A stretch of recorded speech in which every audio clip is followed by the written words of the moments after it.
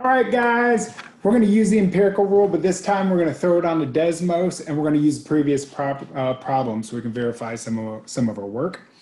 Uh, we're going to start. The average car sold in the United States gets an average of 25 miles per gallon. The efficiency of the cars sold in the United States are normally distributed with a standard deviation of two miles per gallon. And in the previous video, we made the empirical rule by hand. And now let's bring this over to Desmos and uh, toy around with the graph. So the first thing we want to do is just remember that the uh, mean is 25. So mu is equal to 25 miles per gallon. And the standard deviation is equal to two miles per gallon. And when we set this up, it's really easy. We're gonna come over to our um, graphing cells over here. And We're gonna put D equals, and I'm gonna name the distribution. I'm just gonna name it D. I'm gonna type normal uh, dist, and that's normal distribution. And what I do is it'll ask me, says the mean and the standard deviation. Well, the mean is 25, um, and the standard deviation is two.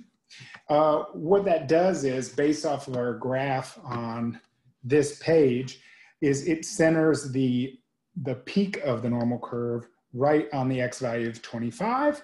And then we have as low as 19 and 31 based off, our, off of our standard deviation. So when we do this, I'm gonna go back to um, Desmos and go to the graphing settings. Um, I'm gonna come over to the X min, I'm gonna put 19 in here. I'm gonna put 31. And when I do normal distribution, I always start with a zero in the Y and I go as high as one. And that usually gives me a great insight on what's gonna happen with that normal curve. Sometimes it's larger, sometimes it's smaller, but in this case, it gives us a great picture. Um, so let's go ahead and we'll answer a couple of questions off of here, just verify some of our work. Um, it says, what percent of the vehicles sold in the United States have an efficiency between 23 and 27? And we found our answer to be 68 with the empirical rule. So let's go to Desmos and just verify that. You'll see that underneath normal dist, uh, it'll say find cumulative probability, CDF. All you gotta do is click on that and you put in the minimum. So the minimum we were looking for was 23, the maximum was 27. And if we put in 23 and 27, it will give us approximately 0.6826 or 27.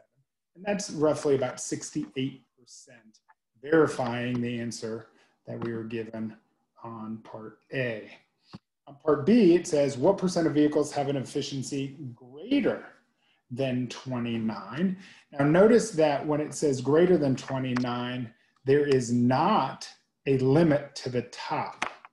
So when we do this piece, there's not a limit to the top. So when we go to the Desmos, we know that 29 is gonna be our lowest. One of the things we should recognize with the empirical rule is once we get past the value of 29, which is right here, there's not much data.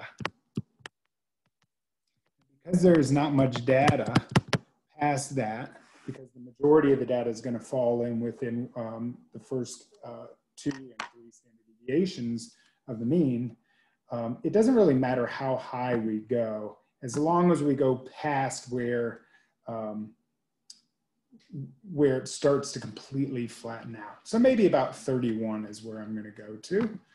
And we can verify that it is roughly about 2%, 0.0214. And if I was to go up even further, like 35, notice it doesn't change very much. It becomes 2.2%. But that does verify our answer of roughly 2.5%. Uh, it's pretty daggone close to that.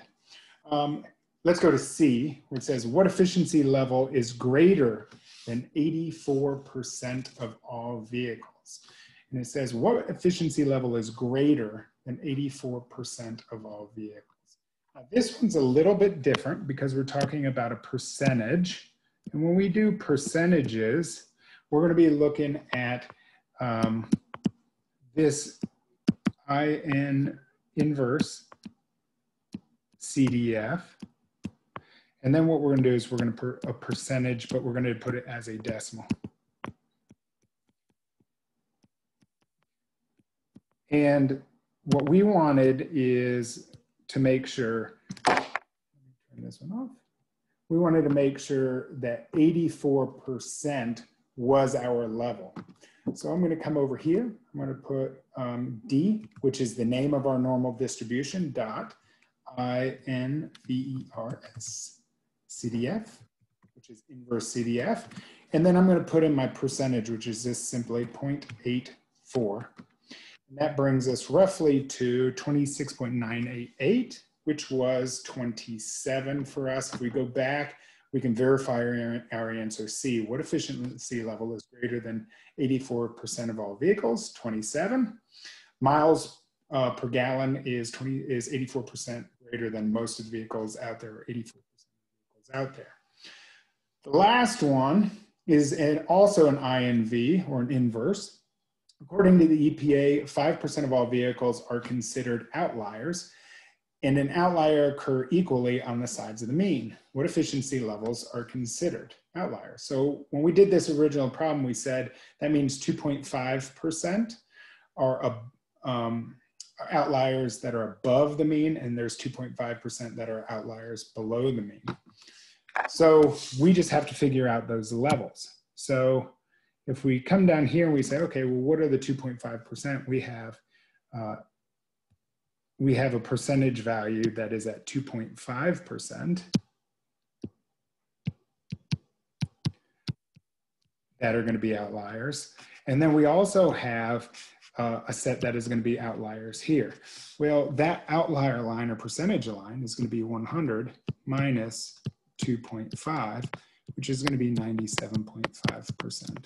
So when we do this problem, we just simply come to our inverse CDF. Put in 0.025. We put it in as a decimal, which gives us the value of 21. And then we come up and we put in 0.975 which gives us roughly 28.9, which is 29. And what you can see is that uh, at 21 and 29, that's where the outliers are either below or above. We can come back and check that work against our work before on the graph, and we can notice that it's 21 and